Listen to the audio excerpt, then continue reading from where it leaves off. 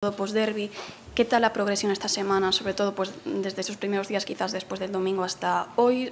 Vienen, entiendo que vienen ya cargados de energías. Bueno, venís cargados de energías para, para darlo todo mañana.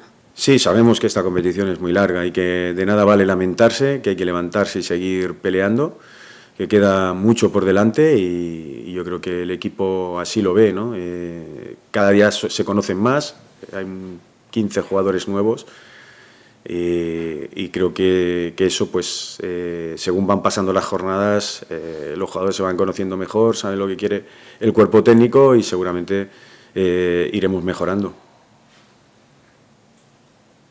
Ola, Cristóbal, de, mm, eh, hasta ahora dos tres partidos ainda non conseguistes victoria ni manter a porta a cero. Non sei que, que traballaches máis, si crear máis ocasións ou mm, finalizalas mellor ou, ou te preocupa máis o, a parte defensiva? Sí. No, al final trabajamos todo. Trabajamos eh, la organización defensiva y luego pues eh, también el juego de ataque, el, la posesión de balón, el saber qué hacer con el balón. Nos, nosotros durante cada semana trabajamos todo. Un poquito que si me dices saber qué me preocupa, quizás lógicamente el, el, el que hemos estado dos partidos sin marcar y hemos perdido 1-0, ¿no? que si hubiéramos marcado ya el resultado o los puntos serían otros. ¿no? Entonces, a mí personalmente me, quizás me preocupa un poco más el generar más situaciones. Hemos generado algunas, pero tenemos que generar más para ganar los partidos. E falando do, do ataque, está, non comentaches a Álvaro como vais, entendo que está recuperado. Está recuperado, está recuperado. E, e si, eh, en este sentido de mejorar ataque, si, si barallaches, si contemplas algún cambio de, no te lo, de esquema. No te lo voy a comentar, eh, no te lo voy a comentar eh, con todo el respeto, eh, no te lo comento porque no son cosas que, no, que nunca hablamos ni damos pistas a nadie. ¿no? Imagino que si preguntáis a al entrenador del Mirandés tampoco va a dar ninguna pista de cómo van a jugar. ¿no? Bos días. Esa mellora ofensiva pasa tamén polo cambio de, de pezas, pasa por xogadores que están fora de posición, movelos a unha posición máis natural, coa chegada de Bebé cambia a idea que poidas ter tamén sobre o cambio de estructura? Bueno, es un poco parecido, ¿no? Eh, lógicamente, eh, tanto Bebé como Manu vienen para compensar un poco pues, eh, pues esa posición también de banda izquierda y, y quizás la media punta, ¿no? Pero, pero bueno, yo creo que veremos. Eh, yo creo que son jugadores que van a aportar mucho y, en eso estamos. Veremos un poquito lo que hacemos, ¿no? Lo tenemos claro, lo estamos meditando a ver cómo, cómo podemos hacer más daño y lógicamente Bebé es un jugador eh, con un buen historial, un, buen jugador y, por eso ha venido y esperamos que nos ayude. e por como é bebé non cambia moito o Racing que o mellor era o Racing de Cristóbal destes anos. Bebé un xogador eh, en certa maneira anárquico, diferente, que ten moi bo disparo, que é capaz de, de xenerar el só atención da, da defensa rival e ata agora tiñamos simetría, no? por un lado e por outro, un extremo zurdo zurdo, un extremo diestro diestro e agora, sin mm. embargo, xoga sin un zurdo puro. Bueno, yo creo que hai que echar la memoria un pouco atrás. Eh, aquí por ejemplo, antes de que viniera Ever jugábamos con, con incluso con José Lu en fuera de banda, en banda izquierda, eh, hemos jugado con otros jugadores a pierna cambiada. Yo al final me adapto a los jugadores que tengo y lo que intento es hacer el, las mejores combinaciones para que el equipo rinda lo, lo mejor posible. Eh, yo creo que un entrenador tiene que saber adaptarse a los jugadores que tienes y, y a veces yo creo que los dos primeros años eh, no tuvimos dos extremos a pierna natural. El, recuerdo que incluso a Dani Nieto jugaba un poquito por la derecha. Eh, hubo jugadores que, jugaron en banda siendo eh, pierna cambiada. Eh, sí que es verdad que en las dos últimas temporadas pues hemos tenido eh, primero con Carlos y, luego con, con, Ever, Carlos y Ever. Luego cuando no han estado Carlos eh, ha sido con, también con, Pinchi y con Serrano. Pero, pero bueno, yo creo que un entrenador lo que tiene que hacer es adaptarse a los jugadores que tiene, ¿no? Y, y yo intento hacer eso. Los está fallando un poquito ese último pase para crear más ocasiones y os llega el Mirandés con defensa de 5 y un gol en tres partidos. Bueno, un equipo que defiende bien, que, tiene, que son sólidos eh, y bueno, intentar mejorar eh, pues no solamente los pases, los movimientos en esa última línea, eh, las llegadas a zonas de remate, eh, un poquito todo. todo. ¿no? Eh, somos conscientes, si queremos mm, ganar partidos tenemos que marcar y, y, no salimos a buscar un empate y sobre todo en casa salimos a, a ganar y a intentar que, que Amalata sea un fortín. ¿no?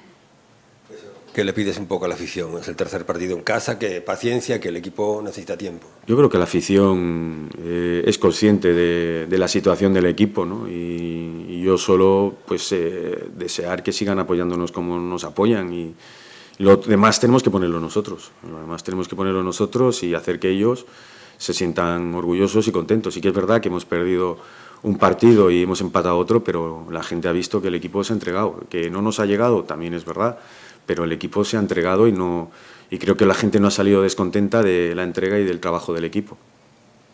Cristóbal, los, los jugadores fueron llegando escalonadamente a lo largo del verano, eh, algunos fuera de forma. ¿Cómo ves ese proceso? De, ¿Cómo los ves físicamente? ¿Les falta mucho a algunos todavía? O, o Yo cada día los veo mejor, los veo mejor, sinceramente. Jugadores que, que llegaron en un estado de forma los ves hoy y parecen otro jugador. Entonces, yo la verdad es que contento porque eso abre el abanico de posibilidades, el ver que los jugadores cada vez están mejor y, que quieren reivindicarse, que quieren jugar y me lo ponen difícil. Hola. Eh, Carlos Mouriz na, na, balance que fixe un pouco eh, comezou dándote as gracias por, por a capacidade de adaptación a esta realidade non do, do Racing de Ferrol. Non sei se os coitaches. No, la verdad es que lo, he estado enfermo estos días y me he levantado solo para ir a entrenar y no, no he podido escucharlo.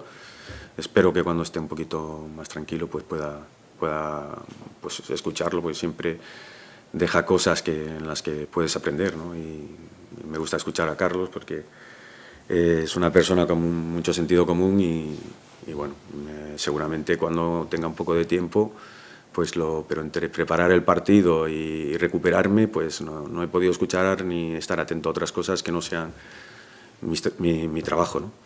Bueno, entre outras cousas, adiante che que dixo iso que quería agradecer a túa paciencia, capacidade de adaptación a, a, e o traballo que faz non co, para sacar adiante a este Racing dentro das limitacións que poida ter de infraestructuras ou de ou a hora de fichar e un pouco era para que valoraras esa, ese aspecto que destacou de ti.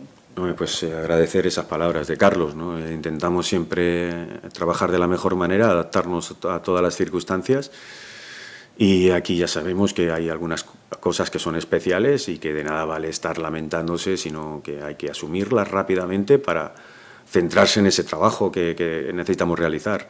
Yo creo que aquí cuando viene algún jugador nuevo y sobre todo jugadores que han estado en categorías superiores, lógicamente el primer shock eh, es importante, pero enseguida que le dices, oye, no pienses, dedícate a trabajar, a estar lo mejor posible y ayudar al equipo, porque es lo que hay, ¿no? Entonces eh, no podemos estar lamentándonos, seguramente que con el tiempo estaremos mucho mejor y, y eso es lo que, lo que deseamos. Ahora hay lo que hay y hay que trabajar a tope, ¿no? Y ya te digo que tengo, estoy muy contento eh, por la plantilla que, tenemos. Vamos a ver si logramos recuperar a los lesionados eh, y intentar que todos estén bien, porque estoy seguro que con todos somos muy fuertes.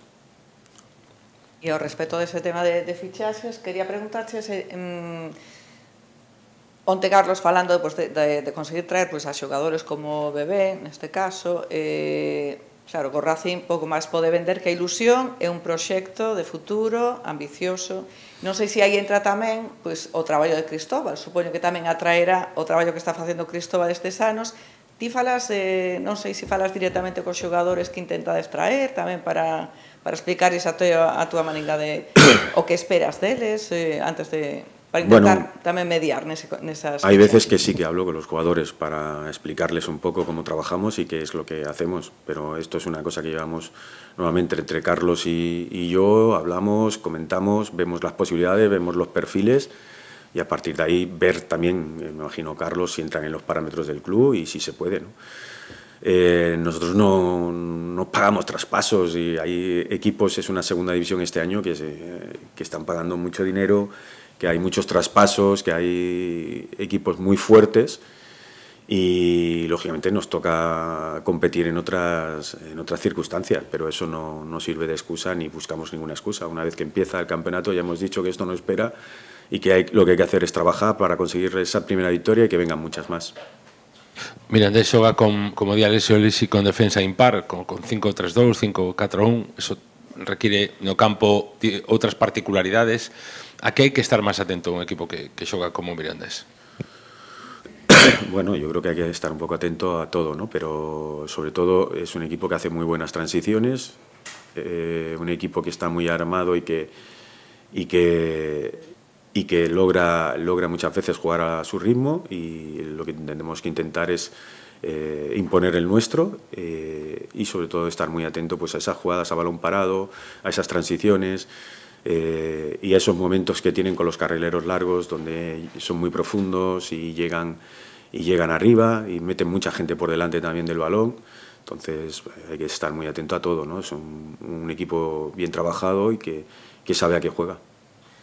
Ata agora vimos o Racing sempre en desventaxa no marcador, sempre co marcador por, por detrás.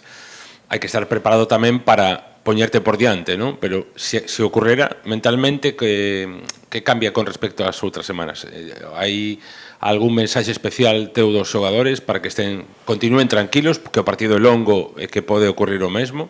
Bueno, la verdad es que ojalá nos pongamos por delante, pero es muy difícil predecir todo lo que va a pasar en un partido, ¿no? Eh, aunque intentes controlarlo todo, siempre hay algo que, que te descoloca y que te saca, ¿no? De, y que se sorprende. Pero bueno, yo creo que también tenemos jugadores con experiencia que tienen que, dar un pasito adelante y mostrar que, que, en el campo tienen que mandar, tienen que ordenar y no solamente el entrenador. ¿no? Yo estoy convencido de que, de, que, de que es importante ponerse por delante, pues significa que estás más cerca de la victoria y vamos a ver si lo logramos. Eh, tenemos ganas de ponernos por delante. Eh, fala Pepe da, dese último pase, da eficacia, falta eficacia no, no balón parado, non? Para, para todo o potencial que, que ten o equipo. Eh, non sei se hai máis incidencia, máis insistencia, mm, coa chegada de Bebe tamén un lanzador máis. Eh, bueno, outro... llegamos, el, lógicamente estamos muy, trabajamos cada semana, ya lo hacíamos el año pasado sin ser a lo mejor, entre comillas, más tan fuertes, y este año lo hacemos también. Luego que se, que se vea materializado en, en goles o en ocasiones, creo que hemos tenido muchas ocasiones que no han acabado de milagro en gol y que en muchas de ellas seguramente nos hubiéramos puesto también por delante y, y, y me gustaría saber qué hubiera pasado. ¿no? Pero hay que insistir, hay que insistir, trabajar duro y, y mejorar eh, esos aspectos, ¿no? El, el llegar con gente a zonas de remate, el, el último pase, el, la toma de decisiones, eh, el desequilibrio también para poder eliminar y generar superioridades. Yo creo que todo esto es importante. A última para miña parte, hai eh, como se eliminan os medos, non? Cando as cousas non van ben. Empezan tres xornadas e os resultados non saíron, aínda que o xogo eh, sexa esa solidez, esa tensión en cada partido, en que estás vivo en cada partido, pero ese medo a como se combate? Yo no, no, recalco eso, ¿no? ni creo que, que haya que de ser, que ser negativo, hay que relativizar. Y la manera mejor es relativizar y pensar en el siguiente. Yo creo que no hay que pensar en miedos. Y yo ya digo, acabamos de empezar, eh, lógicamente, eh, llevamos tres partidos y nos gustaría llevar más puntos, pero lo que hay que hacer es seguir estando juntos, seguir eh, trabajando bien y a ver si mañana pues, eh, le podemos dedicar también esta victoria a Aitor eh, y, sobre a todos los lesionados, pero sobre todo por, por, por, esta lesión fuerte que ha tenido Aitor, que, que ha tenido múltiples fracturas y que lo va a apartar un tiempo de los terrenos de juego. La verdad es que es un gran compañero, es un jugador que literalmente se parte la cara por, por el equipo y, nosotros lo que queremos es brindar esta victoria a él y a los demás que están trabajando duro para, para recuperarse. Yo creo que esto es lo que siente el vestuario. ¿no?